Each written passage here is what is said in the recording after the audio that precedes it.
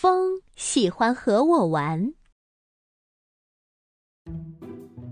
我听到风在门边低语：“哟哟哟。”他轻轻地说：“哟哟哟。”我拿起气球跑出去玩。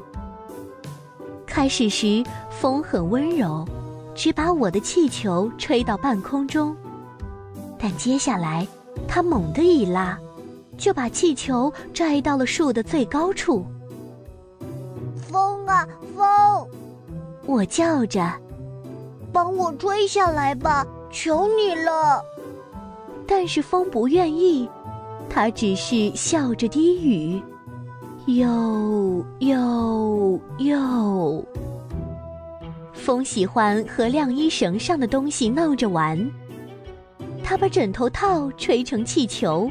把床单扯来扯去，把围裙拧成麻花。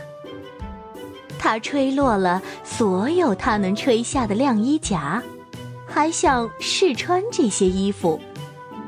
尽管他知道这些衣服对他来说太小了。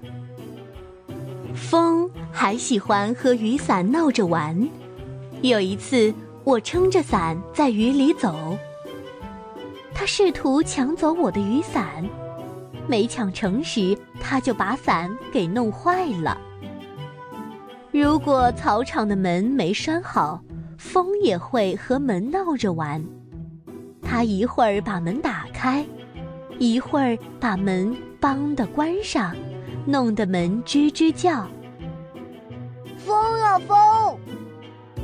我叫他，然后趴到门上。带着我一起走。有了我，门就太重了，风根本就吹不动。当牧场上的草长得高高的，风喜欢和我赛跑。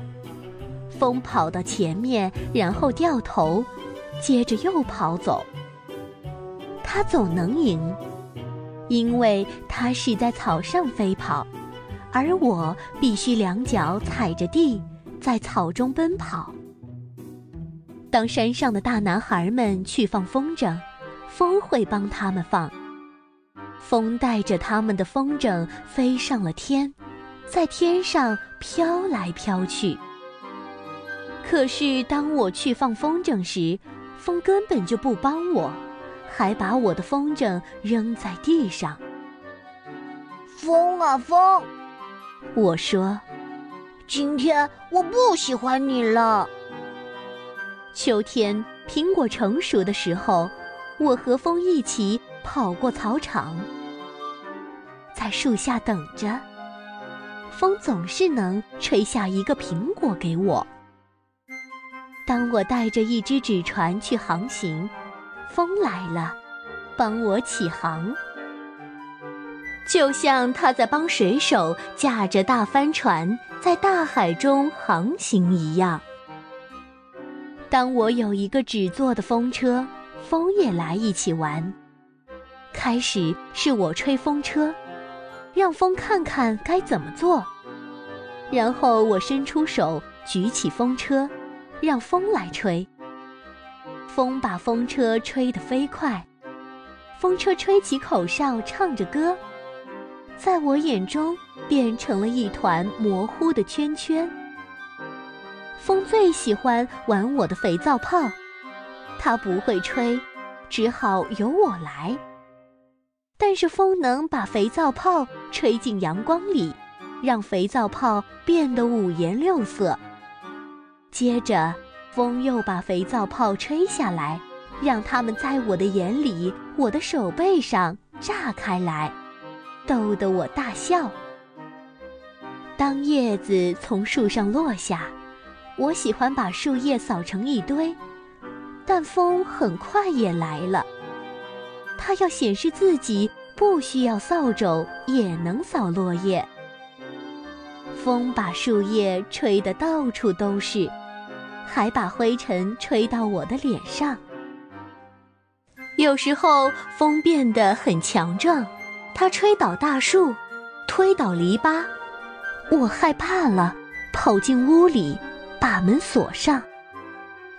风在我背后追着，嚎叫着，想要从钥匙眼里钻进来。